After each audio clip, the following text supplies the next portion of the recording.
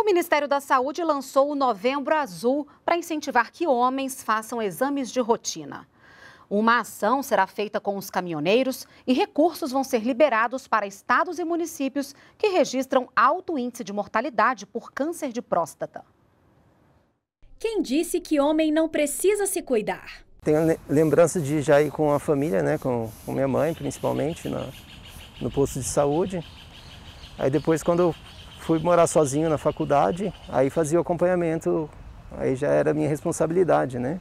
E é mesmo, Fábio. A campanha Novembro Azul está aí para isso. A mobilização mundial é para lembrar a eles que é preciso cuidar da saúde de forma integral. Cuidados que ajudam a prevenir ou tratar doenças ainda no início, como o câncer de próstata, a segunda maior causa de morte no sexo masculino. Se o homem esperar ter algum sintoma para ir ao médico, ele vai acabar fazendo com que essa doença avance e ele chega a um quadro já com um quadro com a doença uh, com progressão grande, a doença bem avançada. E para reforçar as ações de prevenção no SUS, o Ministério da Saúde está liberando 20 milhões de reais.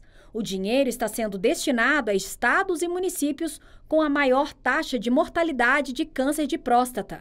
Buscar o atendimento precoce, acredito que na grande maioria das doenças ou das situações de saúde é a melhor opção.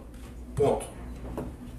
Isso serve para coronavírus, serve para câncer, serve para qualquer tipo de doença. O Ministério também lançou o Cartão Saúde Caminhoneiro, que vai facilitar o atendimento nas unidades do SUS em todo o país e acompanhar de perto a saúde desses profissionais. Fazendo exame, procurando um oftalmologista, procurando um dentista, fazendo uma prevenção, né? Porque a pessoa com saúde, ela consegue produzir muito bem e melhor.